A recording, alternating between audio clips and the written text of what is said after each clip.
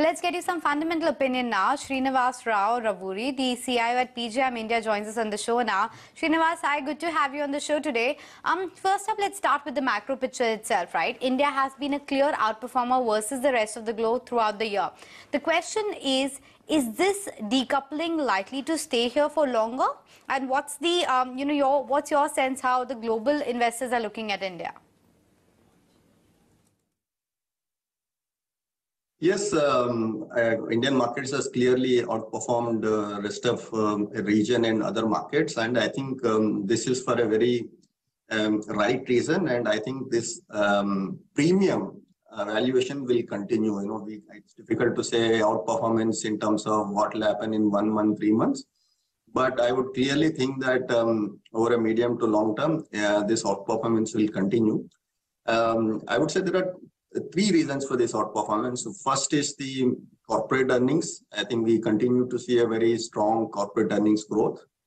And second is um, relative uh, performance in terms of India doing better than other emerging markets on um, economy front.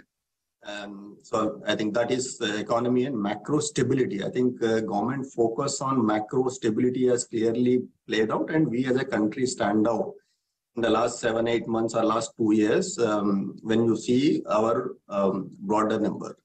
And third issue, I would say, is uh, um, uh, more on the software side. India is uh, clearly emerging stronger on software aspects. Uh, you know, I think the way we have handled our political leadership and handled the recent global events also has um, made sure that India has gained stature globally. I think you know, that also is attracting more people because historically also given our size in terms of um, population and GDP, it's a huge market. So this along with a stronger government is making um, uh, more and more people look at India positive.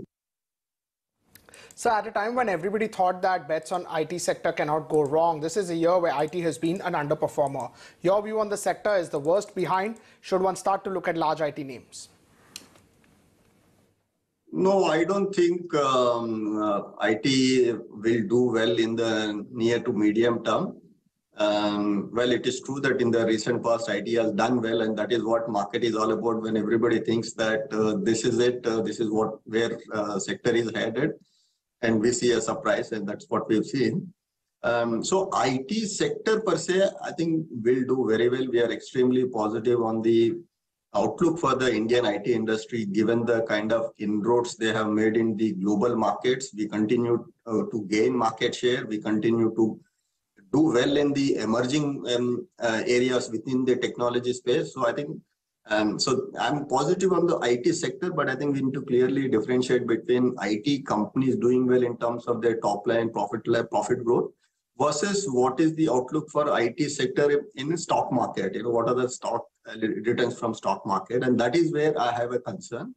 My concern is essentially coming from the fact that if you see IT companies still about a few months back used to say that our outlook is very positive for next one, two, three years and we have clearly seen this commentary changing in the recent times to companies saying that, uh, you know, we have solid visibility for next two quarters, not two years. Okay, so that was about IT, but let's talk about the other two, uh, you know, sectors which have been showing leadership of late. That's been autos and banks. What's your, uh, you know, call on these two sectors because they've already rallied quite a bit. Where do you see it headed from here on? Sure. Let me start with autos. So we are also positive on autos, more on the passenger car and commercial vehicle than on the two-wheelers. Um, I think um, yeah, as just as we are surprised by the resilience of stock markets, we are also surprised by the resilience of auto demand. If you see month-on-month numbers in the passenger car and also commercial vehicle, they continue to surprise. Um, so I think uh, the the underlying demand seems to be pretty robust, and that is what makes us to be positive um, on the uh, passenger car and commercial vehicle space. Um, same applies to look at the kind of bookings uh, new launches are getting. And India's uh, the long-term story nobody can deny. But even when you have gone through a relatively tough period in the last 12 to 18 months, um, the demand for um, passenger vehicles is pretty strong, and that is what makes us to be positive on auto. Coming to uh, financials or banks, uh, so we used to be underweight uh, financials for quite some time in the last three years. But um, incrementally, we have also turned positive and um, increased weights to banks in the last um, two quarters, I would say. Apart from banks, auto, IT, where does your preferences lie? Which sectors are you preferring and which sectors are you completely avoiding as of now? So one sector that we are um, liking and clearly positive and overweight is capital goods or uh, including the manufacturing sector. I think um, we are going to see uh, revival in capex spending in the country uh, as the manufacturing is finally picking up in the country after um, prolonged um, slowdown uh, and uh, after the kind of initiative that government has taken to see that the manufacturing comes back in the country, including the initiatives like PLI. So um, that's what makes us positive on um, um, industrials or capital goods sector, and we are overweight.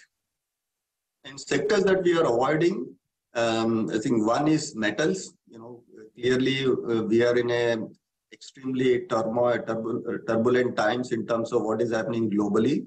Um, so commodities, global commodities, you know, where you have absolutely Indian companies have no control on their selling price, um, uh, can see um, headwinds as uh, we get, head into um, a recessionary period. I think that's where we think it is better to avoid companies that are dependent on global events for their business and their pricing, and we are avoiding uh, such companies. Thank you so much, sir. It's been a while we spoke to you. Thank you so much for taking out time for us. On that note, we're taking a break. Coming back quickly, stay tuned.